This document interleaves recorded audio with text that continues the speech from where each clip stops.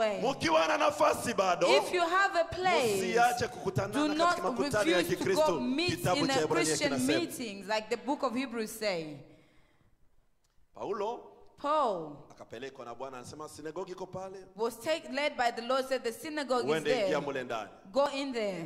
opportunity He was given the opportunity. amen eh? Amen. unajua tabia wa, ya wayahudi ilikuwa You know what behavior the Jews had? Kama wanasoma torati If they read the Torah,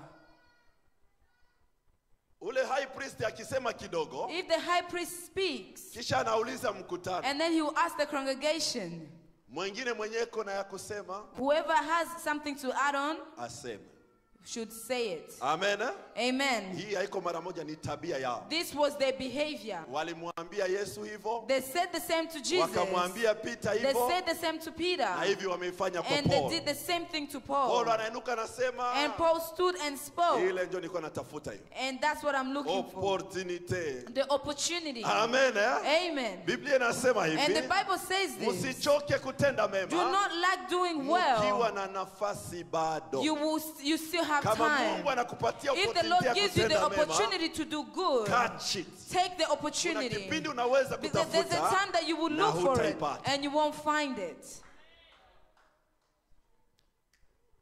paulo anasema wow And Paul said, Wow, that's the best one hiyo njia mzuri. kuna mtu wa ndugu paulo paulo Is there anasema anyone who also has a word? And Paul rose his hand. niko na neno He said, I have a word. karibu Welcome in the Jews. amen eh? Amen. anainuka anaanza kuhubiri He stood and he started preaching. asema ule He said that Jesus ambaye mlikuwa mnahubiri mnasikia The wa, one who- manabii wamezungumza juu that you heard the a prophet speak in on. fact amesha Yes, he did come. Huyo huyo ambaye The same one we crucified huyo huyo ndiye mwana is the same one who's the ambaye damu yake The one whose blood imemwangika kwa has been ajili poured for, yetu for our na kwamba salvation. kila And that everyone who believes in him ataokoka will be saved. Wayahudi wanamwangalia wanasema And the Jews looked at him and said, This man, hiyo opportunity tunampatia ana- uh, this opportunity that we've given him, anaiabize kabisa he has abused it. anaabize He abused the opportunity. hainje unaweza kuwa kuhubiri How can you come in a synagogue to preach kidogo in the short minute that we've given you? You start talking mungu about musipoteze Choose hata dakika of moja God. Don't waste even one second. If God gives you the opportunity, preach the tena gospel. injili ya And the kweli true gospel. kweli inaumiza But it hurts lakini pia inaokoa. Wanaopenda kweli wanaokoka, wanaokataa kweli wanaumia. Ndivyo injili ilivyo. Dunia inaharibika The world is being kwa sababu wanadamu destroyed. wanapenda kuhubiriwa mambo Because the, wanapenda hu- the humans want to preach Injili things that ni they like. injili. The Kristo gospel is the amekuja, gospel. Christ amekufa, came, he died, na amefufuka. and he has Hata kwamba resurrected. Even if you don't hata want kwamba him, mnakataa, even if you reject lakini ndiye him, aliyekuja, but yes, he yule did aliyehubiriwa come. na The manabii one who was ndiyo huyu tunayewaambia prophets is the na one I'm amemwaga telling you. damu And yake he poured ili his kwamba blood kila yule that anayemwamini whoever believes in him asipotee will not be bali but apate but eternal life. That's the truth. Na hiyo ndio kweli. Mtu akikwambia I don't believe it. If someone tells you mimi Unamwambia you are free to believe. you just tell them uko huru kuamini. we are not changing it. Lakini mimi sitabishanje. That's what it is. Na ndio vile vilivyo. If in your journey you get the grace to believe it Kama one day, njia yako unapata neema ya kuamini, Mungu Mungu if asifiwe. you don't, Kama hauipate hiyo neema, John says, kitabu cha Yohana those who inasema did not believe wale in ambao Christ hawakuamini Kristo already condemned. wamekuwa wame, wamelainiwa.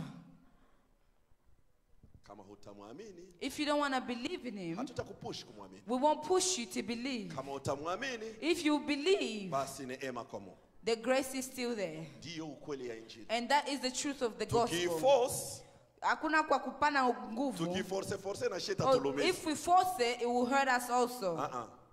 Injili ya Kristo ni ya kuhubiriwa na unaiacha. The gospel of Christ is to be preached and then you let go. Wanaanza kuambiana sasa. And they start talking. Wayahudi wanamumua wanasema, Some Jews say, maybe this man is right. Ah, And others say, kubingine tunaweza kumsikia We can hear other lakini things, kusema kama ule yesu njo damu yake njo but saying that that Jesus' his blood is what came to save us, watu ya dunia wanapenda maproof the people of the world like proof. ile ile ile tunaweza They say, kuiprove how can we prove that? well faith La imani does not require proof haihitaji proof. it is called faith Inaita- Inaitwa because it doesn't need proof kwa sababu haihitaji hiyo mapreve. amen eh? Amen. if proof comes in Kama hiyo preve inakuya, faith has no work anymore imani tena haina kazi.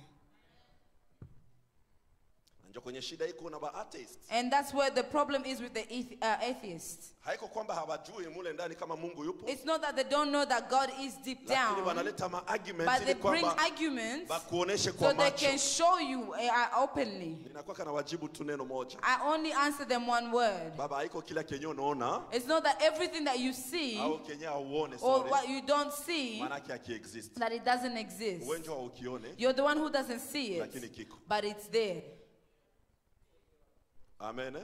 Amen. na kenye we auone And the thing that you don't see, kuko vengine viko na macho ya there are other people who have the eyes to see. amen Amen. Haiko juu uone It's kitu not maanake because you don't see Ah, something, it means it's not there. It's just lakini you kuna who doesn't wengine see it. But there wametembea are ndani other people who miaka have na wako in years wanavuna and they, wanavuna matunda harvesting ya the ile yenye fruit wako of na the things katala that you're wengine rejecting. wamevuna matunda Others have zamani harvested na wako a long wanaangalia time ago. wanasema And they're just the same. aratambagira aratambagira aratambagira mwami yesu aratambagira wewe unasikia unasema You hear and you say, what are they talking about? banasema